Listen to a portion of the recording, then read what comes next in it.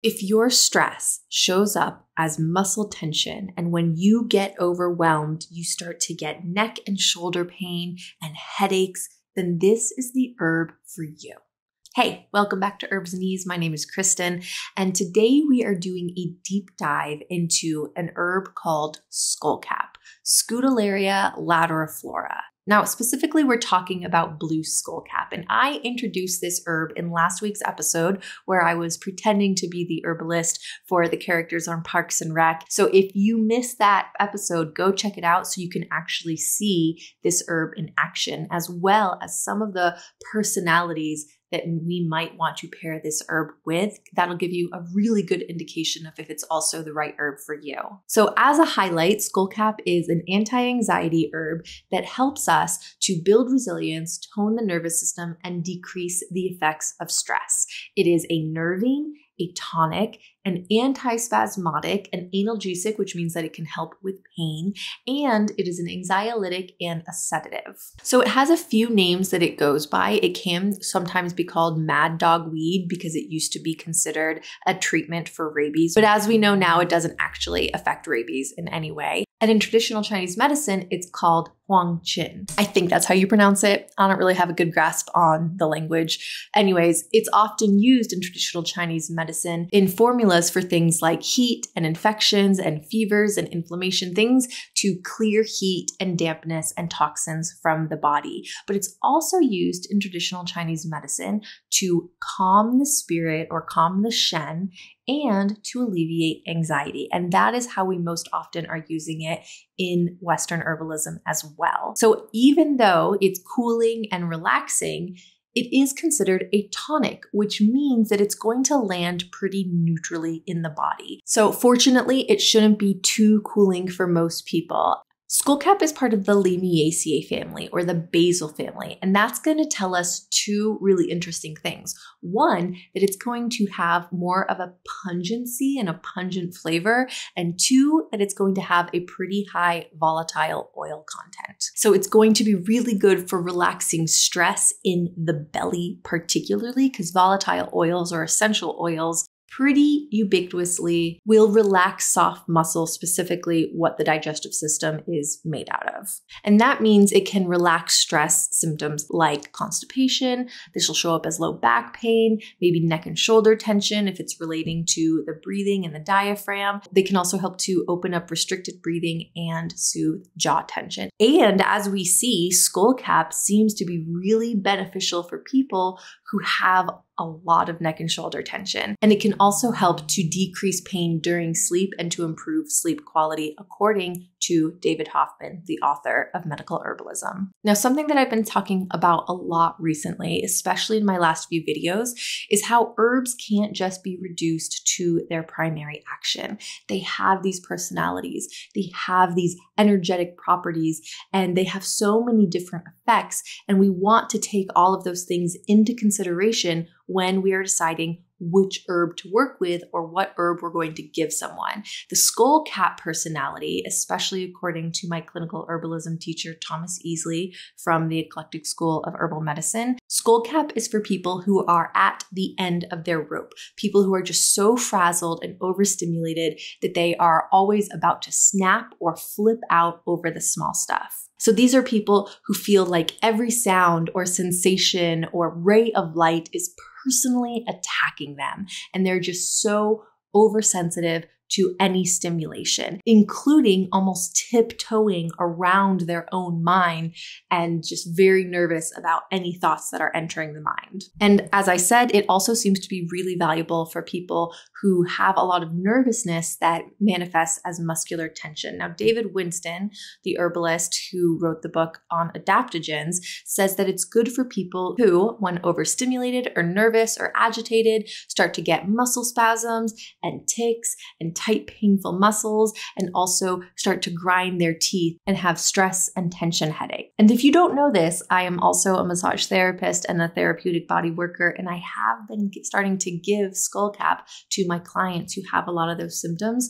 And I'm already noticing that it's enhancing the work that we're doing together when we're on the table and very quickly is starting to resolve some of those tension symptoms and pain symptoms. Now, one of the cool things about Skullcap is that it seems to have a tonic action. And this means that it can be used for a long period of time and that as a sedative nervine, it can help to give people a larger capacity for stress, essentially enhancing our resiliency. So we can think of our nervous system like a bucket and stress is like a faucet. So when we're managing stress and anxiety, we can either turn the tap off as much as possible to limit how much water is entering the bucket. We can consistently be working on emptying the bucket and burning off as much stress as possible. And then we, we can do what we can to increase the size of the bucket, which is essentially building resiliency and our capacity for stress. A lot of our nervines are going to affect the nervous system in one of these three ways. And skullcap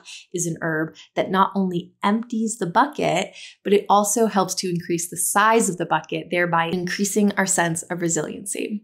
Now, I have been working with Skullcap for a few weeks now, and already I'm noticing a pretty big shift in my stress levels. Now, I talk a lot about passion flower being one of my favorite anti anxiety herbs because of how I use it to stop anxiety attacks and big anxiety symptoms and it's especially good for people who have a really heady anxiety, like mental chatter and rumination and intrusive thoughts, insomnia, and waking up in the middle of the night and being unable to stop thinking and quiet the mind down. And Skullcap is quickly making its way to the top of my list of my favorite anti anxiety herbs, especially for people who have anxiety that shows up as a lot of physical tension. Now, I've mentioned before that I do have anxiety, and my anxiety is a lot more cerebral before it really shows up in the body. But recently, I had a pretty stressful couple of months. I was getting kind of twitchy and just very nervous and jumpy. And I like to work a little bit with every herb that I work with in my practice so that I can talk about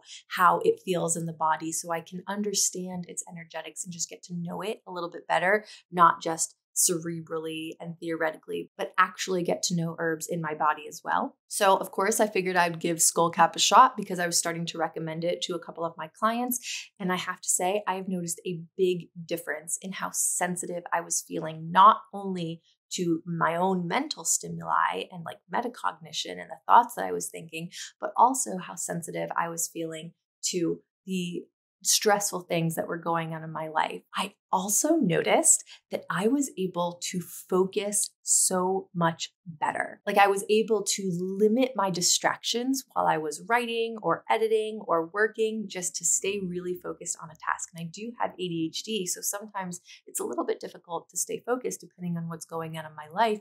And so I would take a little bit of skullcap and I would get to work. It really just helped me sit down and get my work done. And in that same vein, I also noticed that I was able to halt the rumination process really quickly. So, you know that when you start thinking about something that is maybe painful or unhelpful to think about, it can get really hard to pull yourself out of that rumination process and out of that overthinking process. Just a few days of working with Skullcap, it's like I was able to redirect my thoughts pretty immediately. And usually it takes me a few weeks of consistently meditating, which is a pretty in depth practice, before I was able to change my thoughts so easily. And for that reason, I am officially dubbing Skullcap meditation in a bottle. So, for those of you who don't want to meditate but want those mental health effects, try Skullcap and see what it does. See if it helps you focus and be able to control your mind a little bit easier. So, how do we use Skullcap? Well, first of all, it seems that for these pain relieving and tonic and anxiety reducing benefits, it's going to work best as a fresh alcohol tincture. It seems that from a few sources that when the tincture is made using dried skullcap or when we use dried skullcap to make a tea, it has more sedative properties rather than the tonic and anti-stress tension and anxiety properties. So when you shop for it, or if you make it yourself, make sure that it is a fresh, flowering alcohol tincture. That is how it's going to give you the best effect. If you have the dried herb, it might make a good bedtime tea to help you calm down and sedate you at the end of the day with things like chamomile and passion flower and dried valerian. But for the benefits that we're really talking about today, you want a fresh flowering tincture. We do have a fresh flowering tincture in the apothecary, and you can use Skullcap 10 to get 10% off of your first bottle if you want to give it a shot. Just as a side note, if you're thinking about making this tincture yourself, it's a basil. And in my experience, basil is very easy to start from seed and it's very easy to grow. So, this is definitely one that you want to consider adding to your garden or to your pots in the spring and in the summer. And then when it starts to flower, you can harvest it and make a fresh tincture. Now, another cool thing about skullcap is that there doesn't seem to be any contraindications. It doesn't seem to interfere with any medications, including anti anxiety and mental health medications like SSRIs. But of course, if you are going to bring this or any new plant into your life, always do a good citizen scientist Google search between the medications that you're on and any herb that you're considering using to make sure that nothing big pops up and there aren't any contraindications for your health ailments or your medications. So just do a lot little personal research to uh, make sure that you're good to go. So let me know in the comments if this sounds like an herb that would benefit you or someone in your life. Or also let me know if you've worked a skull cap and what you thought about it. I'm always curious to hear what people think and what everyone's experience with these different herbs are. It really helps us, one, to be witnessed in our own healing journey and also to learn from one another. So I think that's it for me today. Until next time, stay chill. And yeah, okay, I love you.